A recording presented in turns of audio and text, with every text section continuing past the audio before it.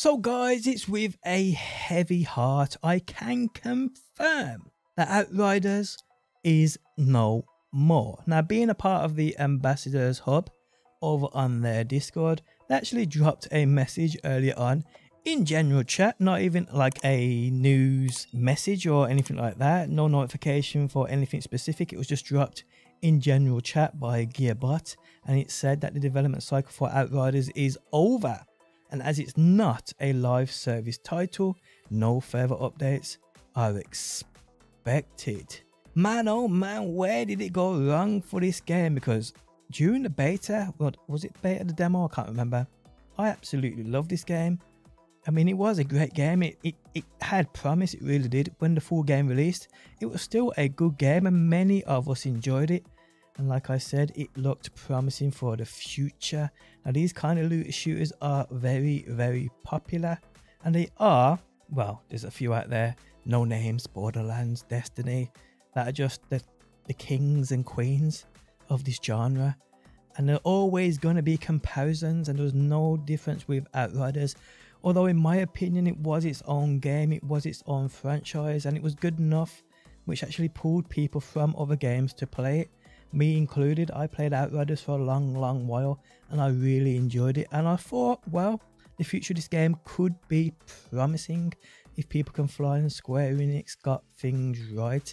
Now they did do steady updates, they did do steady patches that fixed the game because the game released with many, many issues. As it seems, it's just uh, the norm these days with new games. Outriders was no different, and over the course of time, it did get much, much better and with the updates they did, with the balance changes they did, even with the DLCs they tried with Worldslayer, it just wasn't enough. And it really is, to be honest, of no surprise for many of us players who actually played Outriders. We knew this game was eventually going to come to an end, it was just going to die off. And it seems as though this just may be the case with Outriders, by the first edition anyway. Because that message within that Discord, it says the development cycle for Outriders is over, and as it is not a live service title, uh, no further updates are expected. However, the devs have shown clear intentions of carrying on the Outriders IP, so keep an eye out for Outriders news in the future. So, what does this mean, people?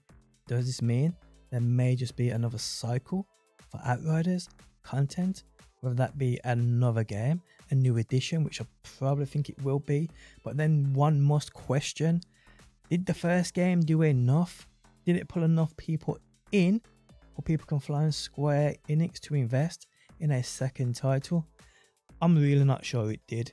Uh, did the Worldslayer sell enough to warrant them making a whole new DLC? I'm not sure it did. Is the base game, are the foundations there for them to work with most definitely. Outriders is still a very fun game to play. If there's things to do uh, if it was a live service game people would still be playing it on a daily basis. Mark my words but because it's just the dlc the Worldslayer dlc just dropped it was just the grindiest thing i've ever seen in my life with more or less no reward at the end. Now because it was the same thing over and over people just got bored very very quickly. Uh, but i do think that there is enough here for them to probably invest in a second game, maybe. I mean, if they get things right, it could be uh, a good investment. Like I said, uh, the genre, the loot shooter genre, is a big one. People are always looking for those new games. It's very, very popular. Outriders was no different on launch. The demo as well was absolutely amazing. Had many, many people playing. Uh, so yeah, maybe just maybe we may see an Outriders 2 somewhere down the line. You just never know, guys. But yes, Outriders served me well for a long while. And I thought, guys, I'd bring you the news on the development cycle for the game is now over. Guys, if you enjoyed the video, leaving a like really helps out. Leave your thoughts down below. I'll be sure to read them. Uh, I look forward to them actually because I know a lot of you guys who are watching this and watch me stream this on a daily love the game as much as I did. So I definitely look forward to your uh, your your thoughts on this. But yes, if you did enjoy the video, leaving a like really helps out, and hopefully, guys, I will see you on that next one.